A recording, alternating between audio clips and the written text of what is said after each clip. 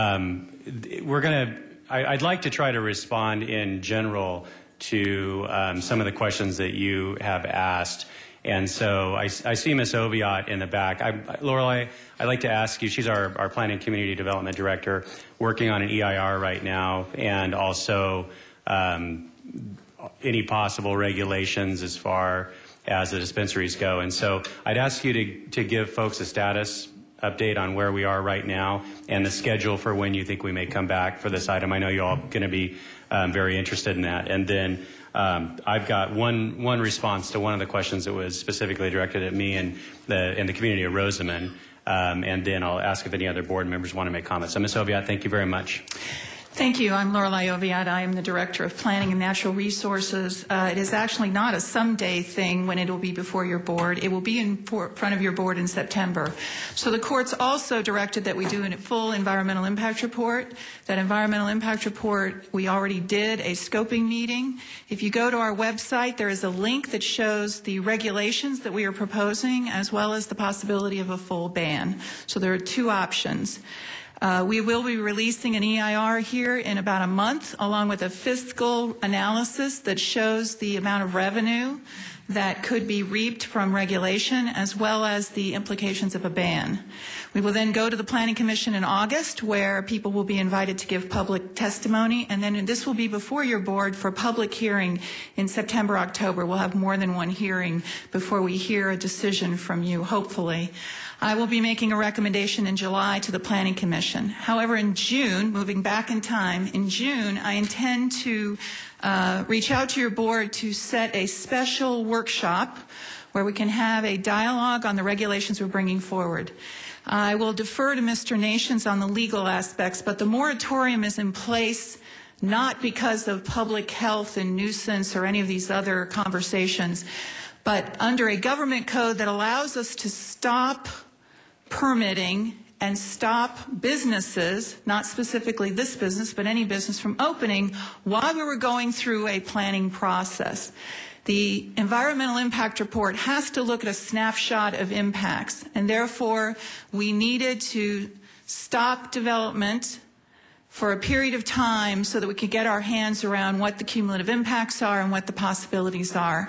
So that was the reason for the moratorium. I have not uh, interacted with this particular dispensary owner. I'll make sure that they have my card and uh, so that I can explain what the regulations are, what the pathway is. Finally, I'd like to comment. Uh, given the moratorium, given your board's direction, and given uh, the time frame, the planning department will not entertain a conditional use permit and a determination of similar use and process that since it will trigger another EIR. Therefore, it is redundant and a burden on this dispensary to ask them to do that kind of CEQA analysis when we are already proceeding with that. Therefore, uh, you know, this is in Mr. Nation's uh, purview in regards to opening this after the moratorium, and uh, those are all the facts that I have at this time. Was there anything else you'd like me to address? No, I think that that covered everything in your shop. I really appreciate okay, it. Thank, thank you, you very much. Mr. Nations, I'm going to afford you an opportunity to respond um, to anything you'd like to.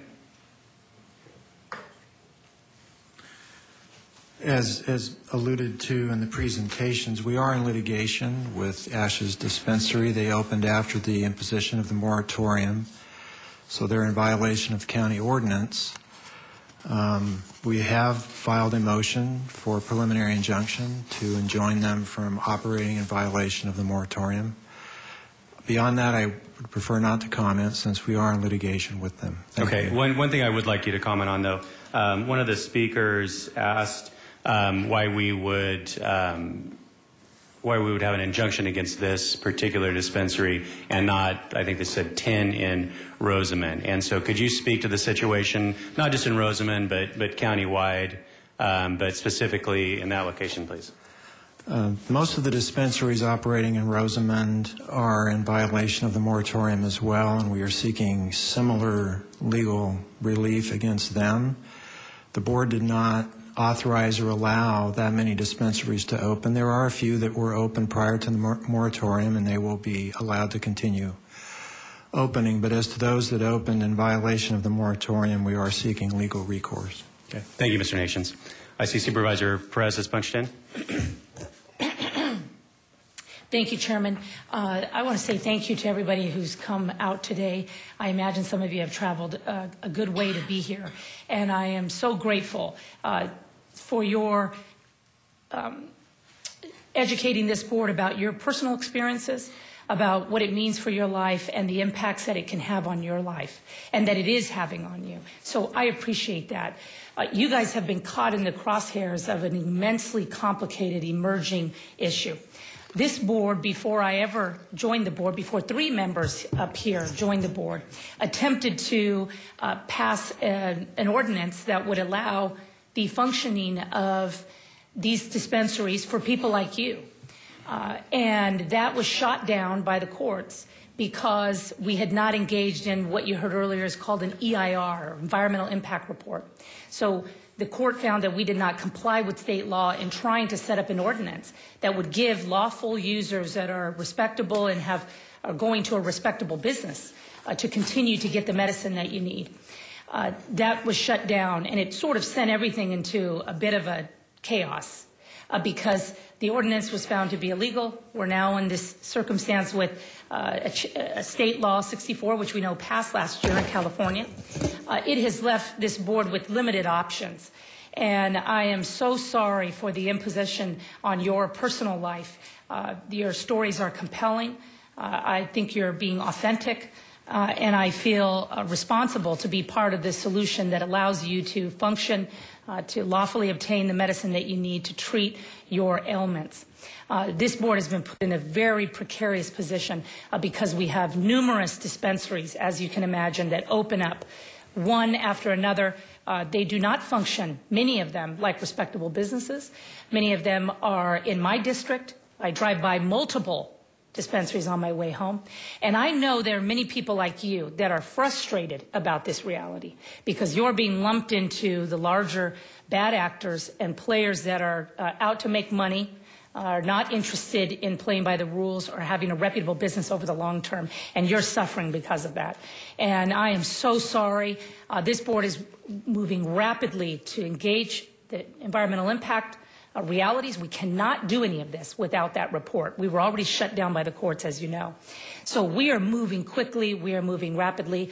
Uh, I know this board is sympathetic to your issues as we've talked about these issues. I know that they care about you. I can say that with full confidence, uh, that we are moving quickly uh, to resolve these issues, to consider the safety uh, matters. Uh, we have a sheriff uh, that is uh, giving us some input upon some of the challenges to his deputies excuse me, in trying to uh, regulate these places. It is immensely complicated. Uh, but we are moving quickly, and this is important. Uh, I want to uh, have a reputable uh, opportunity or a, a reputable uh, ordinance. If this board moves that direction, that allows you guys to get the medicine that you need, but but absolutely prioritizes public safety. And we have to demonstrate that that's possible uh, through uh, the proper regulation and the proper public safety enforcement. Otherwise, uh, it is going to continue to be very chaotic and very problematic uh, in many, many ways. So uh, I just want to say thank you so much for being here. Um, I would uh, ask our county counsel to give us some input on what are some next steps for this group potentially. Do they have no recourse until June, September timeline? I think we should, you know, give them some answers regarding their uh, recourse moving forward. Uh, these these folks look desperate to me, and I hate to put them in further harm's way uh, by uh, not being able to inform them of what their uh, opportunities and remedies are before them. So I ask you to please be patient with us. We're moving as quickly as we can. We have guidelines we have to follow, uh, but uh, I believe in my heart that this board cares about your condition and that they want to do the right thing. Uh, but we've had our hands tied in multiple ways uh, for things that are out of our control. So once again, thank you. I, I want to uh, help be an asset to you as we uh, move forward in resolving what are uh, new and very complex issues in a rapidly changing environment. So uh, thank you for being here. Supervisor Gleason. Thanks, you, Mr. Chairman. Thank you, Mr. Chairman. Thank you all for coming. Appreciate it. There's a difference between um, looking amused and looking happy to see some so many people from District One because it's not a regular event, so thank you all for being here. Uh, this board has uh, never taken a position against medical marijuana. We have not ever ta- we have not ever made a statement. I know I have never made a statement saying denying the benefits and the reality and the science of medical marijuana. So rest assured that is not the issue that this board is dealing with. This board is dealing with a problem of regulation and consistency. What we're having to do and what we've tried to do is to be consistent all through Kern County on how we manage a um, poorly regulated, if regulated at all, industry. And now we have the state of California issuing brand new laws and regulations concerning this issue. And we're coming to trying to come to grips as quickly as we can with new emerging laws and an understanding that these businesses um, need regulation, need leadership, need to understand the, the rules, and we need to be able to enforce the rules when they don't follow the rules. So you put all those things together, and unfortunately, right now, that's where you're at. You're just in a place right now where it's uncomfortable. I understand that uh, some persons have uh, business interests in this, but uh, I'm not willing to um, to uh, to provide an inconsistency in our theme of managing this unregulated business. So um, I think we are on, unfortunately, a course where we have to be on, which is a, which is a legal course, and with the uh, new um, EIR that's going to uh, come out in September. I think Laurel, I said September or sometime soon. Uh, we're going to see changes. How those changes uh, unfold and how they manifest themselves, we don't know yet. But uh, that's the direction we're going in. I think most of you have had your questions answered. I'll be, I'll be up in the Kern River Valley on Thursday this week. I'll stop by, and if you have other questions, I'd be glad to sit down with you uh, and talk with you about them. So uh, those are my thoughts. Thank you for coming. Thank you, Supervisor Gleason. I, I, finally, I would suggest that all of you um, give your contact information to the planning department so you can be notified of when we're having the workshops and what the schedule is, et cetera, because your input is, is something that um, I know Ms. Oviatt's very interested in, um, in having throughout the process. So thank you for being here.